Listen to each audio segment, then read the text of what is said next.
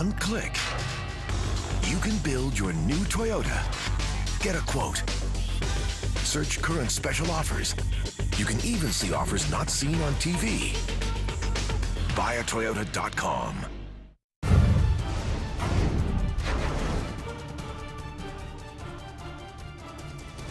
everyone, and welcome to Patriots Today. I'm Brian Lowe. For kids from a dozen boys and girls clubs around New England, a semester's worth of work put into sports related science projects culminated here at Gillette Stadium on Sunday as the Patriots and Raytheon hosted the second annual Science of Sports Science Fair. It was a chance for the kids to have some pretty high profile people check out their work and maybe take home some scholarship money as well. It goes faster.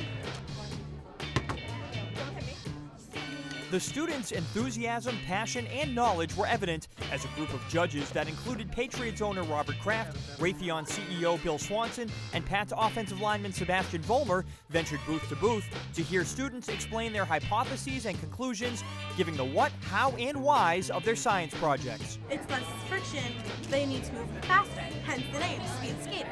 With Raytheon employees helping out as mentors, the middle school students spent about five months researching and constructing projects that tie math and science in with sports, from why tennis balls bounce a certain way on different surfaces to which sports drinks are most effective. We hope this sparks interest in young people to both male and female to follow a career in that pattern. There was some good projects. And, you know, it's great to see kids getting excited, like passionate about a certain thing. You know, it's football for me, but it might be science for them, and just developing that strength and maybe you know get a spark going. And, never know, there might be a CEO sitting in here.